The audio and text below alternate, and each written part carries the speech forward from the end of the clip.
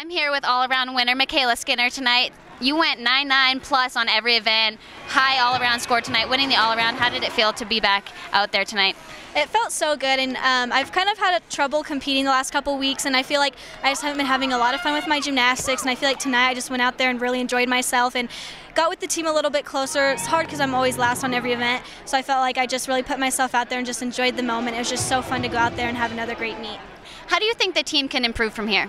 I think definitely we just um, went out there and had a couple little wobbles, and I think some of us were a little bit shaky, and I feel like we can just go back out there and be more confident like we have been in the past. And I know we're going to go into the gym next week and really work on the little details, and I think we're going to pick it back up, and I think we'll be just as good as we have been um, next meet. So it'll be really fun to just go out there and enjoy the moment, and you know try to be calm and just go out there and you know have fun. Yeah, absolutely. And tonight was alumni night, so extra extra energy in the crowd from the, all the alumni that came out on the floor. What does it mean to you to be part of this Utah legacy? It's so cool. I remember when I was a little girl and I used to live in Utah and coming out and being able to like watch some of the alumni that were here tonight. It was just so cool and so fun and they're definitely my role models and to have their support was awesome and just seeing them all so happy and seeing us be able to be so confident and go out there and just enjoy the moment like they did and it's just been really fun and um, they're amazing and I can't wait to you know keep going on with this amazing legacy legacy of this team. So.